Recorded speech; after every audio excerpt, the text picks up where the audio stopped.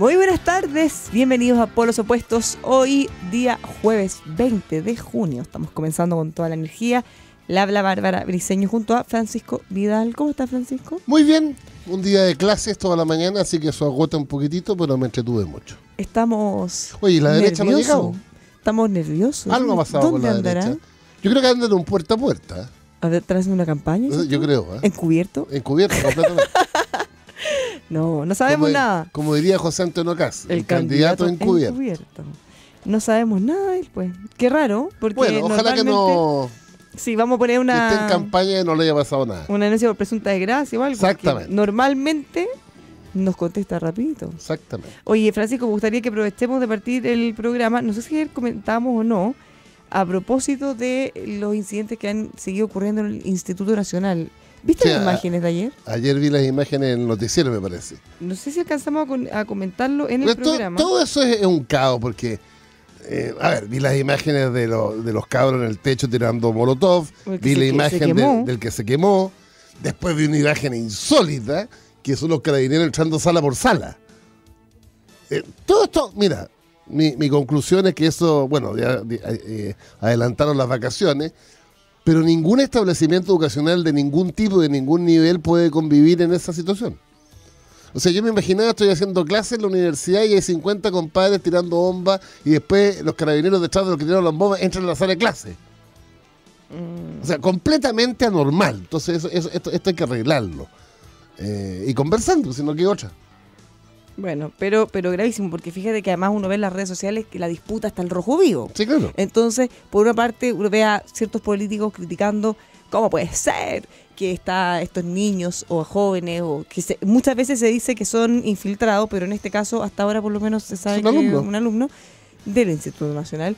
Y por el otro lado, ¿Cómo puede ser que ingresen carabineros y que lancen lacrimógena? Es que, que todo es malo. Sí, pues, pero que fíjate que ahí me pasa... o sea, acción y reacción tan pésimo. Sí, Francisco, pero eso lo que me pasa es que no veo una condena como integral, como que o uno se centra más en los jóvenes tirando molotov y en, la, vereda al frente eh, critican solo desde carabineros para adelante. como si estuviera los niños haciendo clase tranquilito y llegaran carabineros. es completamente irregular por decirlo fácil y suave, 50 alumnos tirando bombas molotov a la calle arriba del techo. Partamos por ahí. Y también es completamente irregular la reacción a eso que es irregular. Que los carabineros anden persiguiendo a los alumnos de sala por sala. Entonces te fijas que no, no, yo, no, le saco, no, le saco el kit a la, a la jeringa. No, tú no. Ahora, eso hay que arreglarlo. O sea, no, eh, eh, no, no, me cabe en la cabeza que un establecimiento de 4.000 alumnos, es enorme el Instituto Nacional, no tenga una fórmula a través de los centros de alumnos, centros de padres, aunque yo creo que hay como tres centros de padres. Sí, pero eh, ¿sabes qué? Me preocupa. Y el, sostenedor se sienten hasta llegar a un acuerdo final. Si, si eso es posible hacerlo. Si hay ganas y voluntad. Lo que me preocupa es que yo además he tenido la oportunidad de conversar con muchos políticos de distintos sectores y ahí todos coinciden en lo mismo que tú estás diciendo. Pero cuando hay que hablar de las soluciones, o critican a Aula Segura, o alaban a Aula Segura, o critican las medidas que se están dando, o, las alaban, pero al final, como que nadie tiene la fórmula, más allá de decir, ya, dialoguen. Ya, pero es que esta no, no, pasado que sentarse. Eh, sin eufemismo alguno si la demanda de los estudiantes es mejorar el gimnasio, por decirlo de alguna manera, bueno, se mejora el gimnasio. Ahora, si la demanda de los estudiantes eh, es rechazar el TPP, eh, el, alcalde de Santiago no está en condiciones, aunque firmara de una demanda que no tiene que ver con el alcalde, tiene que ver con el parlamento. Entonces tú sabes que hay como demandas inmediatas, demandas mediatas, hay demandas que son factibles, donde el, administrador lo puede resolver, hay demandas que son imposibles que las resuelva el administrador. Como el TPP. Si, a mí mis alumnos en la universidad me dicen, profesor, no, voy más a clase porque queremos que se rechace el TPP, yo le digo, está bien, pero yo, no voto. O sea, claro. ¿Qué, qué va a solucionar? ¿Qué va a hacer eso? Ahora, en el, marco de la situación que tenemos en general de la educación, con una marcha estupenda que supe día en la mañana con tres columnas que convergieron sobre el paseo Bulne, eh, bueno, hay un problema. Hay un problema. Los profesores llevan, llevan para los 12 o 13 días, si no me equivoco por ahí, en la votación de rechazo a la propuesta del gobierno, yo creo que ni, se lo esperaba Mario Aguilar, digamos, 91% de rechazo, y votaron como 60.000 profesores. Eh, o sea, ahí hay un conflicto que el gobierno debiera administrarlo, ¿eh? porque además tiene un efecto en cadena. Pues. O sea, ¿cuánto? Si 60.000 profesores no están en clase, ¿será el millón de alumnos? Sí, cerca de un millón de alumnos dicen que podía estar sin clase. Claro, y el millón de alumnos entonces te, genera, te altera la vida familiar, la vida del trabajo, de los papás, están perdiendo clases. Un círculo bien vicioso ahí. Obvio. Entonces, normalmente en las huelgas de profesores siempre los gobiernos le dan prioridad porque tiene un efecto colateral muy amplio. Fíjate que una de las huelgas de profesores más grandes en la historia contemporánea de Chile ocurrió en el gobierno del presidente Frei Montalva de haber sido unos dos, dos meses. Es que te altera toda la vida. Todo, obvio. Altera todo el círculo en la vida. Sea, si tú le agregas a las educadoras de Bárbulo, que solamente el otro día hicieron un paro de advertencia, pero podría plegarse el paro de profesores, ahí sí que te queda el efecto descompleto, porque... Oye, hablemos de eso, es que tengo info fresquita de primera fuente porque la mañana estuve con la subsecretaria de Educación Parvular. La María José Castro. sí. sí. Mira, le voy a dar un consejo y te cuento por qué eh, se tiende a confundir eh, la razón de esta protesta con lo del paro de profesores. Sí, no, son cosas distintas. Sí, pues, pero no está tan claro realmente quizás la opinión pública, así que abordemos y te cuento por qué. Polos opuestos en Radio El Conquistador. La nueva estufa pellet de Bosca es Era Plus, oh, diseñada y fabricada en Chile. Todos sabemos que si es chileno, es bueno. Era Plus de Bosca 20 horas de funcionamiento continuo con un tamaño ideal para cualquier espacio. La encuentra en bosca.cl, Bosca y por supuesto en grandes tiendas. ¿Sabía por qué elegimos Tepillé? Por confianza. No todas las empresas antidelincuencia lo protegen de los robos. Solo Tepillé, con un 97% de efectividad, son los únicos que no graban robos, los evitan. Tepillé.cl solicita a su ejecutivo sin costo en tepillé.cl. En Inmobiliaria Indesa comprenden cómo quieren vivir las personas, por eso han creado espacios únicos y de calidad. Proyectos con un verdadero porto urbano y social que invitamos a conocer en indesa.cl. Indesa, personas, entorno y ciudad. También lo invitamos a que cierre los ojos imagine un lugar maravilloso con un sonido del agua, uh, pajaritos. Antumalal. Antumalal, de inmediato pienso en el vista al lago, uh. chimenea. Pura maravilla en Hotel Antumalal de Pucón, simplemente una experiencia. Informaciones y reservas en antumalal.com. Y pago de facturas.cl es una empresa líder en la gestión y pagos de cobranza, recuperación de facturas en Compra, especialistas en gestionar todos los pagos en los plazos legales, o sea, lo más rápido que puedan salir lo pueden lograr con pago de facturas.cl. Más información, también consultas info arroba pagodefacturas.cl. Bueno, el gobierno presentó un proyecto, Francisco. Para aumentar la subvención parvularia. Sí, para aumentar la subvención. Pero fíjate que en la actualidad ya se divide entre los jardines de la Junji, Integra, mm. que ellos tienen aportes basales, que son bien altos. En el caso de Junji son los más altos. Son cerca de 280 mil, un poquito, 290 mil por alumno. Y los BTF, que son los eh, de corporaciones, de fundaciones, los privados, eh, que en general tienen, o sea, que de hecho tienen la mayor parte de la matrícula. Eh, ¿Qué es lo que busca este proyecto? Busca varias cosas. Por un lado, nivelar, porque a los niños de estos BTF, que les contamos que eran las corporaciones privadas, reciben cerca de 130 mil. Imagínate la brecha entre 130 mil versus 280, 290 mil de los casos de Integra. Busca también ampliar la cobertura y que esta subvención no solo se la puedan entregar a ellos, sino que también a otros establecimientos como colegios, por ejemplo, o eh, distintos institutos que tengan eh, ya toda, que hayan cumplido con todas las normas, que estén alineados con la ley de inclusión, sin fines de lucro y todos los mismos requisitos. ¿Por qué ellos están buscando ampliar la matrícula? Porque hay más de 200.000 niños que actualmente no van a un jardín infantil, no tienen, eh, no tienen cupo disponible. Entonces, esto ha generado una revolución al interior de, yo creo que tiene más que ver con Integra y con Junji, que son los más molestos. Y esa es la razón por la que están en este momento eh, movilizados. No les gusta este proyecto. Eh, yo leí los argumentos de las dirigentes y ellos sostienen que dos objeciones al proyecto. Uno, que el aumento de subvención a los voluntarios privados generaría un incentivo al lucro, no obstante que está prohibido. ¿Estamos? Y lo segundo. Pero está prohibido y solo puede ser instituciones sin fines de lucro. Entonces, no se sostiene esa No se sostiene. Y segundo es el tema. Mm, ¿Cómo, cómo, cómo llaman? Ellos hablan de privatizar. Dice que este proyecto busca privatizar, en el fondo, la atención a los niños en centros privados.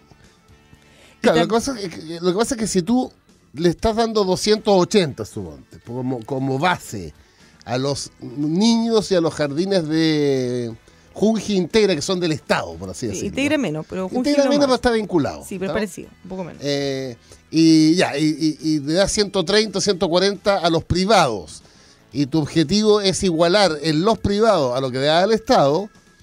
Si no hay un control férreo en los privados de que no pueden lucrar, obviamente que habría un forado pero están todas las normas, de hecho dicen, está totalmente alineado. ¿La, subsecretaria te dijo bien eso? Sí, me dijo que eh, lo hicieron ya filtrado, en el fondo pensando en esta discusión, que, y está explícitamente escrito que no pueden tener fines de lucro y todo lo que incorpora la ley de inclusión. La misma requisito. Ok. Si eso es así se fiscaliza, yo no le veo ningún problema. Bueno, fíjate que ha tenido en ese sentido una buena, eh, una buena recepción por parte de los políticos fue aprobada la idea de legislar, claro, los parlamentarios de oposición, ella nos contaba que había sido aprobado en la comisión con un voto de la oposición y con eh, creo que seis abstenciones, o sea, no, tampoco rechazaron. Ya, había dudas, seguramente. sí, porque hay un tema también ideológico respecto a la preferencia de lo público sobre lo ah, privado. claro. En el fondo hay mucha gente que le gustaría... Al final, al final, al final, esa es, la razón de esa fondo. Es la, esa es la razón de fondo, que en el fondo eh, hay personas que le gustaría que el Estado organismos del Estado hagan todo y otras personas lo preescolar, sí. Que, no, no lo preescolar, todo en general. Ojalá eh, se encargaran de que en preescolar es donde la participación del sector privado es mucho mayor que el sector público. A diferencia de no, también en básica y también en no, También. Pues. Lo que pasa es que en básica particular y media, el particular subvencionado que es una mezcla, porque es gestión privada pero financiamiento público. Eso es un particular subvencionado. Un particular pagado es gestión privada y financiamiento privado. Mientras que el, municipal, que hoy día va camino a lo estatal, a través de los servicios de educación, es, es gestión hoy municipal, futuro estatal, y financiamiento siempre estatal. Ya, pero estos esto, eh, organismos, estos jardines BTF serían una especie, así como si lo miráramos de particular subvencionado, porque también son eh, con origen privado y, y, obtienen recursos públicos. Bueno, que hay, también hay jardines privados privados. Sí, pues, pero esos no, esos no están aquí en esta discusión. Bueno, ese es un tema. Y el otro tema es que ellos llaman que al, entrar, hacer entrar los colegios. Eso. Dice que eh, eh, eh, el, concepto es, se llama adelantar la escolarización. escolarización temprana. Claro. Y, eso claro, porque en el fondo hay que ser experto para meterse en el tema. Sí, pero, pero en fácil. Lo que yo entendí, por lo menos, el planteamiento es que ellos dicen al ser un colegio que le agregan curso hacia abajo, en el fondo, la lógica del colegio es colegio. Entonces ellos saben hacer colegio, ellos saben ese formato de clase, entonces es distinto a un jardín infantil que nace preconcebido como un jardín en otra instancia, entonces en el fondo... No es colegio. Eh, no es colegio, claro. Porque aquí sería como un curso, más allá que se asegura que eso no ocurriría, pero la aprensión es mm. que podría ocurrir que sería como un curso colegio de niños más chicos nomás. Claro. Y que eso no... Bueno, es que lo pasa, eh, a ver, Aquí estamos hablando de jardín, ¿no? Sí. Eh, pues está la sala cuna, el jardín, el preescolar, perdón, el pre-kinder y el kinder. Claro, y eso sí está en los colegios, normal, la el mayoría. El kinder y el kinder. Sí. También hay jardines con eh, pre-kinder, pero lo normal es que estén en los colegios, pre-kinder y kinder. Lo que sucede es que aquí tenemos un problema más de país. Ha sido una curiosidad, hemos avanzado mucho en los últimos 50 años en cobertura educacional. Sin embargo, se nos quedó atrás la base del sistema. Porque un niño o niña nace y el primer paso es la sala cuna. Ahí hay una mm, eh, participación muy baja porque en general hay un factor subjetivo, que es que muchas mamás y papás, si tienen la posibilidad de tener a la guagua en la casa, no la mandan a la sala cuna. Sí. ¿Ok? Ya sea porque tienen alguien que la cuide, porque la mamá deja de trabajar, por distintas razones. Exacto. Después viene el jardín, que ya, eh, ya es otra fase, que ahí tenemos también un déficit de cobertura. Ahí sí que, a diferencia de la sala cuna, donde muchas guaguas no van por decisión de los padres soberana, En el caso del jardín infantil es al revés. Muchos más papás y mamás quisieran tener a sus hijos en jardín infantil. Entre otras cosas porque le hace bien a los cabros. Eso te va a decir que hay un consenso en que el jardín infantil es un aporte para los niños. Por socialización, por estimulación. Oh, se hacen amigos desde chicos. Claro, le enseñan a compartir con otros niños. O sea, por miles de razones. Entonces quiero decirles, ciudadanos auditores, que fíjense lo que les voy a decir. Entre sala cuna y jardín si necesitamos 100 cupos, hoy hay 30. Mientras que si abordamos el pre-kinder y el kinder, necesitamos 100 cupos y hoy hay 90. O sea, estamos cerca de, tener cobertura total en pre-kinder y kinder. Pero nos faltan más del 60% en salacún y jardín. Y eso, eso en número, en cifras, son como eh, más de 200 mil niños, que no tienen jardín. Ahora, lo del jardín para mí es muy importante, porque la sala cuna al final es como una, ayuda para, para, que la mamá pueda trabajar. Pero el jardín, yo que todos mis nietos han pasado por jardín, eh, siete, porque el octavo es muy chico. Eh, bueno, tú, yo, a las fiestas del jardín, el día del abuelo, el día del papá, el día del chicle. Y tú ves ahí que los cabros eh, se, entretienen, juegan, se conocen, socializan, hombres y mujeres. Ahí, ahí empieza la, filosofía y formación para el respeto mutuo entre hombres y mujeres. Es muy importante. Ahora, fíjate que también le pregunté a la subsecretaria porque, eh, no sé si tú te acuerdas, un reportaje respecto a eh, elefantes blancos. Muchos jardines que se estaban construyendo en el gobierno interior que quedaron tirados a medio construir en algunos casos, en otros casos construido, incluso con los Yo, estoy bien informado de eso. Me dijo que están trabajando arduamente en eso, recuperándolos. Lamentablemente que los procesos son súper largos porque en la medida que recuperan uno, que fue abandonado por la constructora, por ejemplo, tienen que hacer todo el trámite de nuevo, Y, pasar por todos los permisos de distintos ministerios, de desarrollo social, de, eh, bueno, la evaluación social. Claro, y, que, mira, eh, mira que de repente se cometen errores Mira, en el gobierno de Bachelet II, en su programa, estaba contemplado 124 mil cupos en jardín infantil. Perdón, en digo, en, jardín, en Salacuna y jardín infantil. Que era una cosa impresionante. Saca la cuenta que si faltan 200 mil, avanzada y normalidad. Por el procedimiento de evaluación del proyecto, por el tema de los sitios donde, donde construirlo, y mil cosas más, la presidenta Bachelet terminó entregando 70 mil cupos. Y no deja de ser. Pero yo había leído a esta subsecretaria diciendo que el, problema de que no se llegó a la meta, que a todo esto eran 90 mil, se bajó de 129 mil a 90 mil, porque lo demás era ficción. No había sitio, eh, sobre todo en las comunas o regiones. Entonces, yo creo que lo, lo, que tiene que hacer el gobierno y esta subsecretaria en particular, tiene que seguir avanzando para disminuir el déficit que tenemos de cobertura. Bueno, es que eso están haciendo. Yo creo que están, haciendo eso. Sí, obvio. Y entonces nos, dijo que están eh, full de esto. De ese, mira, el, tiempo promedio en que podíamos retomar los proyectos de estos jardines eran más de 500 días. Hoy lo hemos reducido a, no sé, 300, 350 días. Pero eh, finalmente igual ya estamos tarde. Pues. Entonces, están haciendo todos los esfuerzos para que esos jardines que están a medio construir, que se terminen o que se habiliten y que se busquen todas las formas para llegar. más, en el programa de gobierno de Bachelet hubo un error porque se hizo mal el cálculo de, de cupos en sala cuna y jardín infantil. Y al final tenía que hacer al revés. Eso, eso pasa a una autocrítica cuando tú haces un programa específico, sectorial, con mucho entusiasmo, pero que no va apoyado a los números. Sí, por eso hay que tener cuidado con lo que se ofrece. Ahora, quiero decir además, para la memoria, en Bachelet 1 fue más grande el salto en cobertura preescolar que en Bachelet 2. El presidente Lago dejó una cobertura del 20% en todo el preescolar. Bachelet lo llevó al 38% en cuatro años.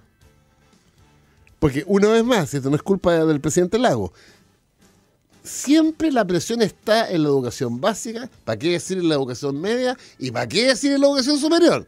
Y se nos olvida la base del sistema. Porque el ciudadano auditor, no sé si usted lo ha vivido, eh, lo puede conocer, un niño que entra de la casa a primero básico está en desventaja a un niño que entra de la casa al jardín, al prekinder y al kinder. Si ambos se encuentran en primero básico, uno lleva la carrera como 50 metros más adelante. Bueno, el punto es que, eh, y a propósito, volvemos a esta eh, paralización o esta manifestación en realidad. Pero las parvularias no, están, paralizadas. No, no están paralizadas, están movilizadas. Sí, claro. Ya movilizadas, ah, hicieron un paro de advertencia, ¿te acuerdas? Eh, sí. Pero el punto es, una cosa es criticar este proyecto, si avanza o no, pero efectivamente hay un déficit. Y si no queremos avanzar, si el Estado no es capaz de hacerlo, porque ya vimos que los tiempos de respuesta del Estado son lentos, por más que haya intención, bueno, ¿qué hacemos? ¿Dejamos a los niños sin jardín hasta pues, siempre? ¿O somos más pragmáticos y ponemos bien reglas? El líder chino Deng Xiaoping, lo importante no es el color del gato, sino que case ratones. ¿Y qué sería cazar ratones en este tema?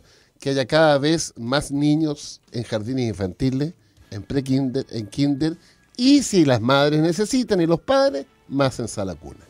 Nos vamos a la pausa y ya estamos de vuelta con más polos opuestos. Muy bien.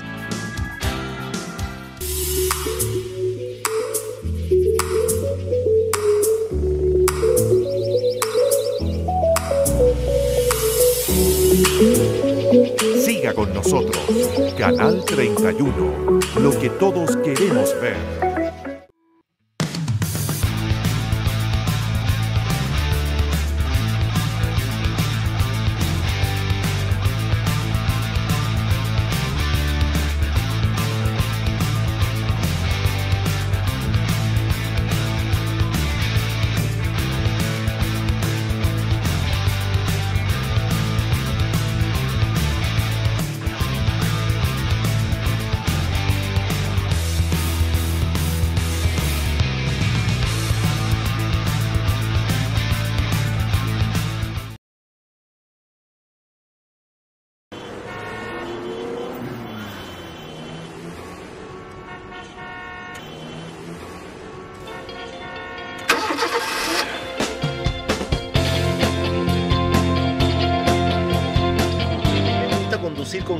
Y estilo.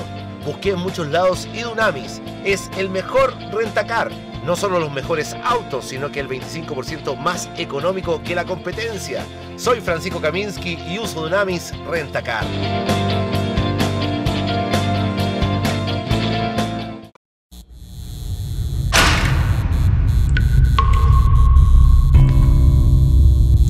En los momentos más difíciles, cuando vemos todo negro y perdemos las esperanzas, se abre una línea directa.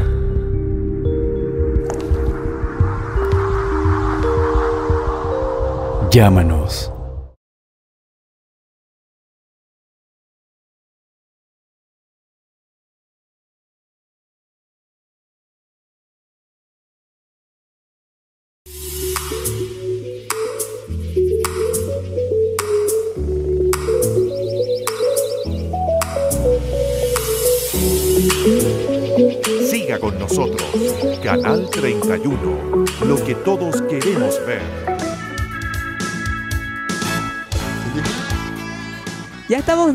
vuelta en Por los Opuestos, le habla Bárbara Briseño junto a Francisco Vidal. Oye, me preocupa no, me, escribió, me escribió. ¿Dónde está? ¿En qué puerta a puerta? que había avisado, no, está en una actividad académica que nos había, le había avisado aquí a señor que empieza con C y M. Ya, y él no nos avisó. No sé si no nos avisó o, se me olvidó. Ya, ok. Le voy a dar el beneficio de la duda, voy a revisarlo. ¿Actividad académica? Sí, una actividad ¿Está tirando panfletos? No, académica. académica, dejémoslo así. Debe estar en un foro con Osandón Cast. Bueno, ya, sigamos con otro tema porque vamos a ver qué pasa con eso. Hoy día hubo una nueva marcha a propósito del paro docente, Francisco. Bueno, yo como, como dijimos al principio de este programa, el gobierno tiene que preocuparse más, porque un paro docente va mucho más allá del legítimo paro de los profesores, influye en la familia, en la vida cotidiana. Estamos hablando, dicen, de un millón de alumnos sin clase Estamos cerca de las vacaciones de invierno. Bueno, vamos a ver después cómo se recupera. Eso, también es un tema. Sí, claro. Porque tener que hacer clase o ir a clase los sábados, eventualmente quedarse hasta más tarde. Ahora, la demanda de los profesores, eh, yo no sé cómo el gobierno no llega a acuerdo, porque si te están pidiendo que termine la doble evaluación, me parece un sentido común enorme. ¿Cómo van a haber dobles evaluaciones? Una del sistema anterior y otra que surgió con la carrera docente. Quedémonos con la evaluación que termine la carrera docente.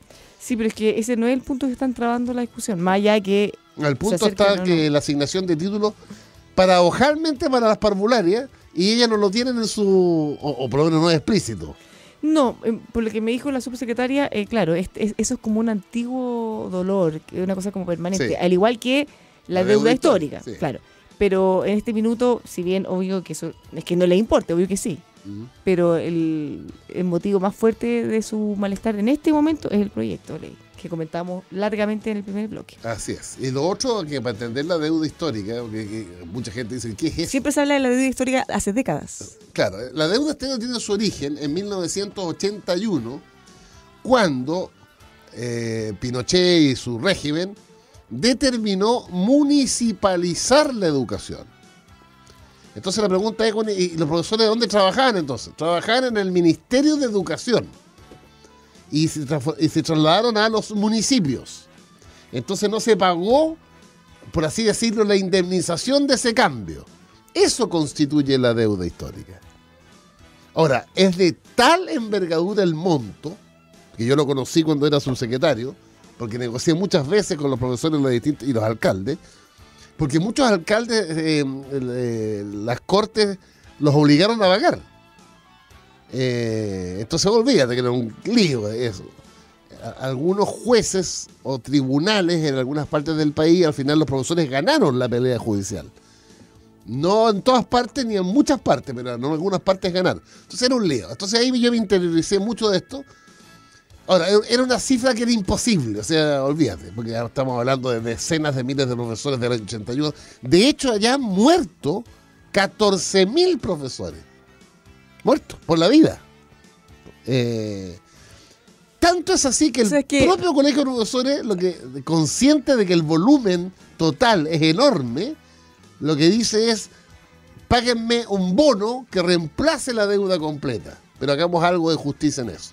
Y yo creo que tienen razón. Lo que pasa es que todos los gobiernos se miran para el techo porque el volumen era inalcanzable si tú pagaras el 100% de la deuda con sus reajustes e intereses.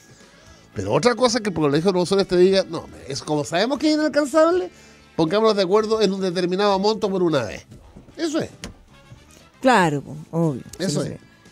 Ahora, por una vez, entonces también desde el punto de vista del Estado, no es un gasto permanente, es por una vez. Lo que pasa es que, ¿de cuánta plata estamos hablando? No, no, olvídate. No, no, yo perdí la cifra, pero era una cosa que impresionante. Porque, o sea, ningún gobierno en Chile está en condiciones, aunque sea una injusticia en su origen, de pagarle a un gremio toda la plata que le debe a ese gremio. Sí, porque en estricto rigor, más allá de que no tengamos la plata o no, o sea, cuando tú te, eh, si tú te cambias, o si tu empresa cambia, o si tú tienes que irte de una empresa u otra, corresponde que te paguen. Bueno, no, si es justo, es completamente justo. Claro, aquí no es un tema como si es justo. O sea, el origen es justo, el problema es que. El tema es que es mucho. Se hizo inviable, porque estamos hablando de algo de hace 38 años atrás. Entonces, si tú, si tú me prestáis plata hace 38 años, y yo miro para el techo durante los 38 años, lo que tú me prestaste, más intereses, olvídate. Y el otro tema de, la huelga de profesores. Fíjate, pero un paréntesis. Si tú, ese, ese tiempo es más o menos lo que se calculaba que tú ibas a ahorrar en la AFP. Exacto, es como la pensión. Pues, si uno mirara el, caso de la AFP, ellos han triplicado tu, aporte. Así es. O sea, del 100%, cerca del 35% por ahí, es lo que tú pusiste y lo más pura rentabilidad. O sea, si uno se hará como esa escala, más o menos. Obviamente los intereses no son lo mismo que están, pero se triplicaría, no sé. O sea, sería mucho más... Pero yo creo que en la directiva del Colegio de Profesores, eh, leía a Mario Aguilar en este punto, el presidente, dice, imposible el pago total, hagamos un acuerdo, y, oye, han intentado con todos los gobiernos, incluyendo los que participé yo. ¿eh? Sí, todos. Todos. Y siempre se chutea, se chutea, se chutea. Bueno, pero... Eh, ah, y lo otro que está también tensionando es que ayer vi una manifestación de historiadores, entre ellos mi profesor Gabriel Salazar. El cambio curricular. El cambio curricular. Ahora, ese es otro temazo, porque no está en el, en el gobierno cambiarlo. Determinar el cambio. y fíjate que tampoco estaba en el petitorio inicial. Eso fue algo que agregaron después. Pero el subsecretario me dice, oye, esto, nosotros no podemos pasar por sobre la institucionalidad. Y la ley establece todo el mecanismo por la cual el Consejo... Es el que decide. Es el que decide. Y hay toda una forma institucionalmente ya arraigada que hace todo el proceso, que habló con los expertos, que hizo eh. la elaboración. Oh. Y en el fondo lo que hace el Ministerio de Educación acata y ejecuta ellos no definen. Ahí la, la, la, la, reversibilidad de esta medida tiene como dos caminos. El camino más corto sería que el propio Consejo dijera, dada el rechazo, modificamos y mantenemos historia de educación física obligatoria tercer y cuarto mes. y la otra, más estratégica, es cambiar la ley. ¿no? Sí, pero ninguna de esas dos alternativas pasa por el ministerio. No, tendría que cambiar la ley, modificar el Consejo Nacional de Educación. Pero ninguna de esas dos pasa por el ministerio. Ah, no, no. O sea, ellos no pueden hacer mira, nada. Paradojalmente los que tienen el sartén por el mango son los alcaldes y alcaldesas. Porque la propia designación de, y decisión del Consejo Nacional de Educación, que sacó la obligatoriedad de historia y educación física, puede ser alterado legítimamente por los alcaldes. De hecho, ya hay como 20 municipios que en los colegios municipales van a mantener historia y educación física como obligatoria. Ahora, desde el Ministerio evalúan independiente que no pueden hacer nada al respecto, y qué bueno. Y dicen, eh, todos los expertos, la gran parte que han participado en el proceso, salvo, eh, claro, algunos historiadores o que han salido eh, a hacer mm. oposición. Y el Consejo Rector ayer. Han hecho las críticas bien fuertes o dicen que esto definitivamente sí es bueno. Ahora, la instancia para discutir si fuera o no debería ser con los expertos porque finalmente... Claro. Pero los rectores ayer me llamó la atención positivamente, yo estoy en contra de esto. el Consejo Rectores, por unanimidad, él dijo que había sido un error eliminar historia y educación física del currículum obligatorio de, tercer y cuarto mes. Y yo me compro el argumento de Baradit, que se lo, vi anoche en, las noticias. Porque yo vivo esa experiencia. Mm. Es distinto enseñarle historia a un cabro de 14 años que a un cabro de 18. Es distinto. Claro, por un tema de edad y por interés y por desarrollo mental, madurez. Exacto. Lo escuchas en El Conquistador, polos opuestos. No todas las ventanas son iguales, por eso le queremos hablar de Vidral. 100% seguro, 100% confiable, más de 30 años de experiencia. Los pueden encontrar en Recoleta 2602 o también en Vitacura 7646. Puede escribir con sus consultas a ventas.vidral.com para que sí pueda conocer todos los productos de Vidral confort y calidad que marcan la diferencia. Vidral, ¿eh? Vidral.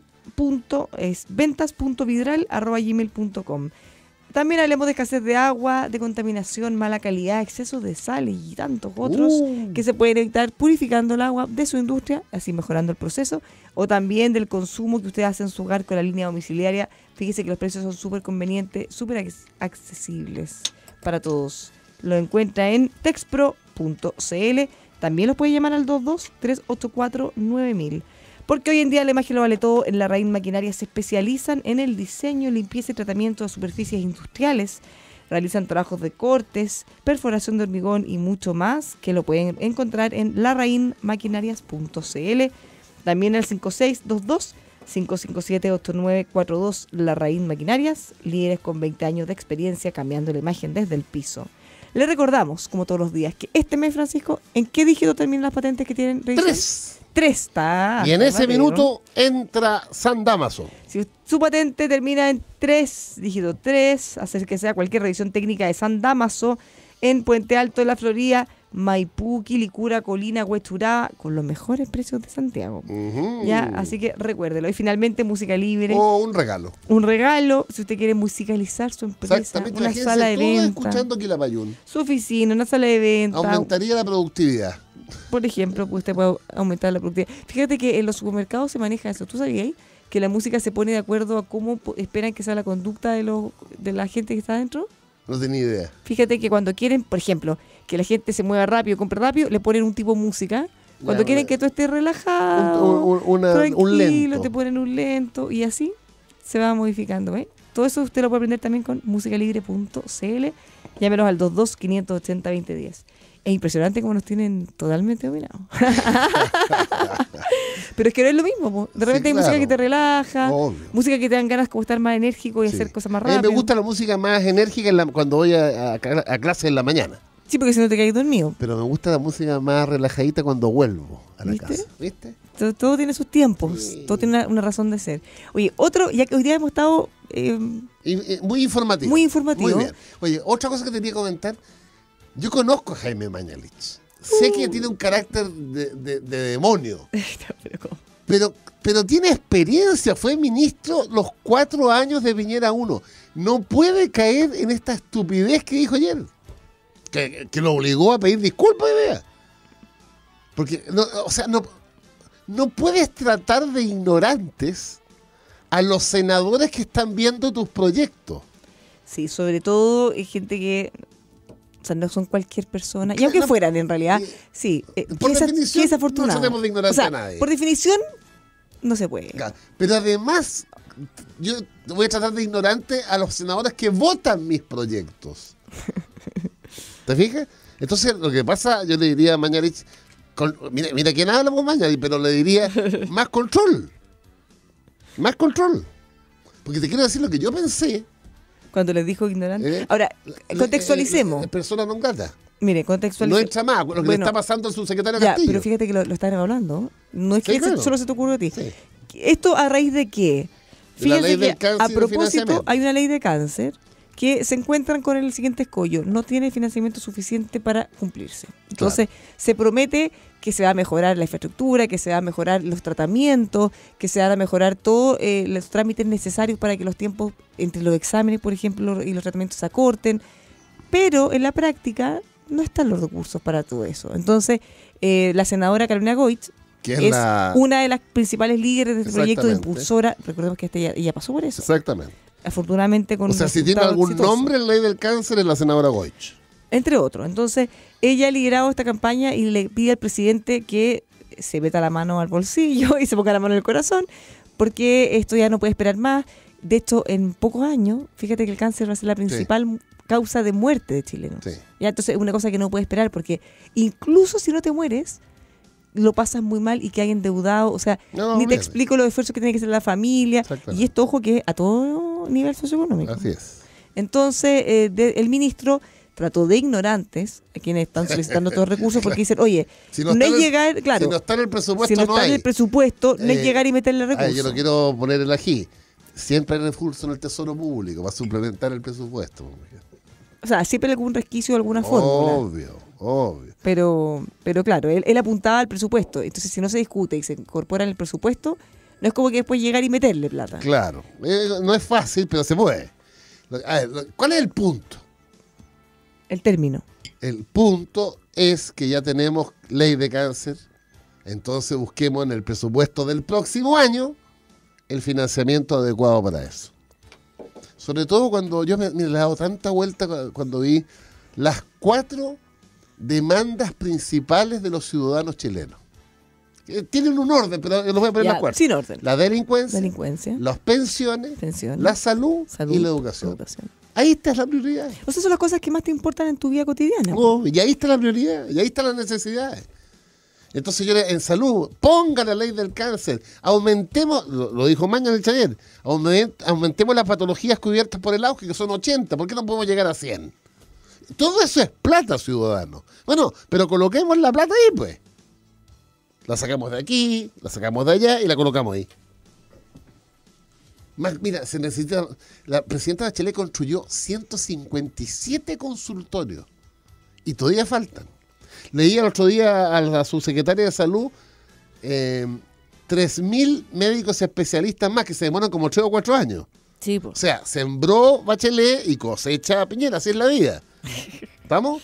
Pero, pero tú requieres más especialistas porque ¿cuál sería la solución a la cola en el hospital? Que la persona vaya al consultorio y ahí la atiende un especialista. Si eso ocurre, obviamente que no va al hospital, pues.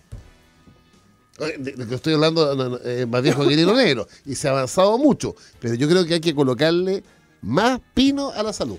Bueno, fíjate que ahí está la iniciativa también del hospital digital. También ayuda. Claro, que también ayuda porque de alguna manera, si es que tú puedes tener médicos especialistas que eh, están accediendo a, al informe médico, a todos los exámenes, seguro pueden ayudar a acelerar los procesos. Ahora, nada por sí solo soluciona el problema. No, obvio. Entonces tenemos que tener un círculo de muchas cosas. Muchas cosas son a la vez.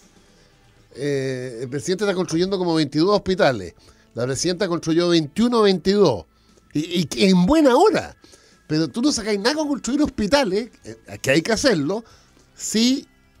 mire lo que pasó en San José, pues, en zona norte de Santiago, ciudadanos de fuera de Santiago. Está teniendo el doble la capacidad. Es un hospital nuevo, 15, 20 años, no sé, puedo equivocarme por ahí, que fue hecho para atender medio millón de chilenos de la zona norte de Santiago. Llega el doble. Hoy día llegan el doble. Colapsado con la gente en los pasillos. Entonces, por favor, pues. O sea, sin criticar a nadie, pongámosle más prioridad a los temas más sentidos por la gente. Y uno de los temas más jodidos para cualquier ser humano y su familia es cuando está enfermo y no tiene cómo atenderse. ¿Y cuál cuesta? Y, volvemos a la gratuidad. Son muchos, muchos millones. De repente uno dice, pucha, entre que alguien se muera, o entre ponerle la ley del cáncer o ponerle la gratuidad universitaria, o sea, yo, estoy de acuerdo, es muy, claro, es, muy importante. Sí, claro. Pero de repente tú dices, pucha, lo urgente y lo importante es difícil. O en el caso del paro docente, cuando dicen, oye, son 30 mil millones en régimen, esto es super, no es nada comparado al presupuesto. Ya, pero es que si sumamos esos 30 mil, más el de seguridad, más el otro, más la ley de cáncer, más, los medicamentos, más el cename. Ese es el problema de gobernar, que los recursos son poquitos siempre va a ser poco respecto a todas las necesidades siempre van a ser poco, además, sea lo que sea. además estructuralmente es poco. Claro. Sean los que sean, incluso si subiste los impuestos, incluso si recaudáramos mucho más, igual van a ser poco porque las necesidades son infinitas. Claro, y cada vez más. Van mutando. Nunca dejan de haber necesidad. El problema es que hay que priorizarla. Mm. Ahora, ¿con qué criterio prioriza? Yo, mi criterio es donde hay más necesidad, donde hay más gente involucrada. Y que los efectos quizás pueden ser más dañinos, porque no es lo mismo un riesgo de muerte que otro, no sé. es difícil. Muy difícil. El arte de gobernar. Ya nos vamos. Nos vamos y esperamos que la derecha mañana se haga presente. Sí, pues la vamos a exigir. Y deje de hacer puerta a puerta y tirar volante. ya nos encontramos mañana. Que tenga una muy buena tarde. Manténgase en la sintonía del Conquistador para todo Chile, todos los días.